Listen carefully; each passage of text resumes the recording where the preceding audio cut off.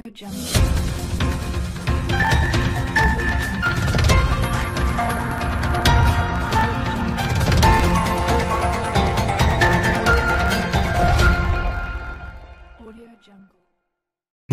आप सबका स्वागत है। एक लड़की थी सनम हसन 19 साल की। पुणे के इंस्टीट्यूट से फ़ैशन डिज़ाइनिंग का कोर्स कर रही थी। दोस्तों के साथ पार्टी करने के दौरान ऐसा कुछ हुआ कि उसकी मौत हो गई। फिर पीएम रिपोर्ट आई।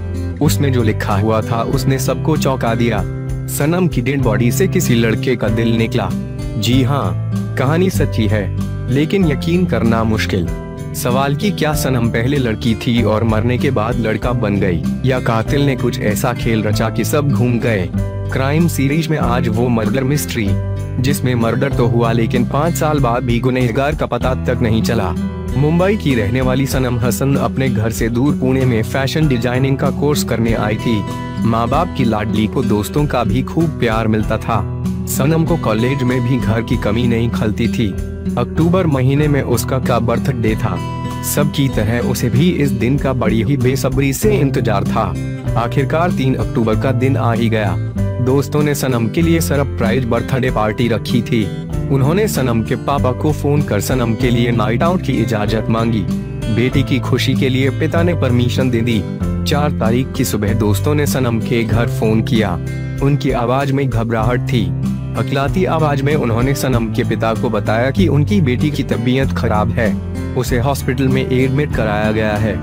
खबर मिलते ही माँ बाप पुणे के लिए रवाना हो गए। वो आनंद फानन में हॉस्पिटल पहुँचे तो पता चला कि उनकी बेटी मर चुकी है। दोस्त बता रहे थे कि पार्टी करते वक्त अचानक सनम की तबीयत बिगड़ गई। उसे उल्टियाँ हो रही थी, इसलिए रूबी हॉल क्लिनिक में लाकर एडमिट करवा दिया। ससून हॉस्पिटल में पोस्टमार्टम हुआ और डेड बॉडी के कुछ पार्ट विसरा रिपोर्ट के लिए भेजे गए। लेकिन इसके बाद हॉस्पिटल ने जो रिपोर्ट दी, वो चौंकाने वाली थी। सनम की रिपोर्ट में लिखा हुआ था कि उसकी डेड बॉडी में किसी लड़के का दिल है। वो भी सत्तर फ़ीसदी ब्लॉक सनम की कलाई पर चार इंजेक्शन लगाए गए थे। सीने में करीब तीन सेमी का एक गहरा घाव था। पोस्टमार्टम के बाद डॉक्टर ने बताया कि ज़्यादा शराब पीने की वजह से सनम का दिल ब्लॉक हो गया, जिसके चलते उसकी मौत हुई। पहले तो घर वालों को शक था कि उनके बेटी की हत्या की गई है, जिसे हॉस्पिटल की रिपोर्ट ने और गहरा कर दिया। ऐसा इसलिए क्योंकि सनम फुटबॉल प्लेयर थी। तो फिर दिल का सत्तर फ़ीसदी हिस्सा ब्लॉक होना उन्हें पच नहीं रहा था। इसके अलावा जो सबसे ज़्यादा चौंकाने वाली बात थी वो ये कि आखिर उनकी बेटी की डेड बॉडी से किसी लड़के का दिल कैसे निकल सकता है?